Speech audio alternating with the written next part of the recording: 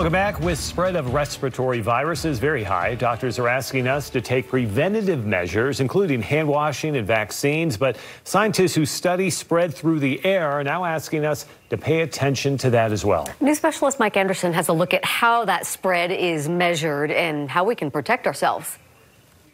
Yeah, I've got an Aranet4 here in my home, and uh, these measure levels of carbon dioxide. And at over 800 parts per million, we're actually pretty high right now.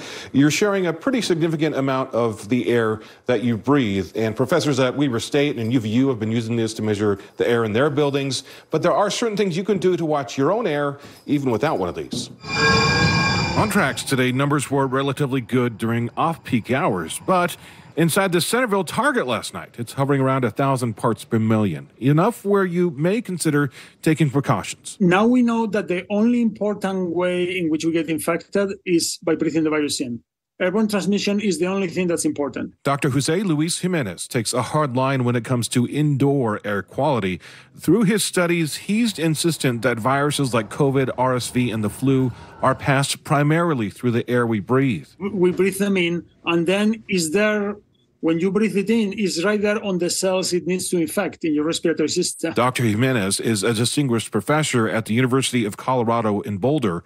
He says viruses are typically spread more where there's talking, yelling, and singing. That's where we see tons of super spreading events in, in churches, in, in choirs, and that kind of thing, especially if, if people are wearing masks. He says studies have shown packed theaters where people are staying silent, however, not as risky.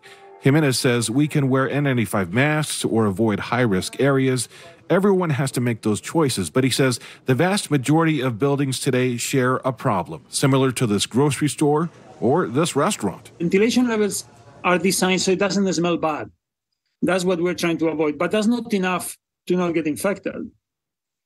You know, so so basically we need a we need a paradigm shift that's going to take a generation, or or maybe more.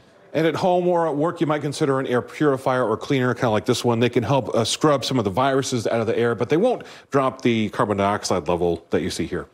Mike Anderson, KSL 5 News. Interesting, Mike. Thank you.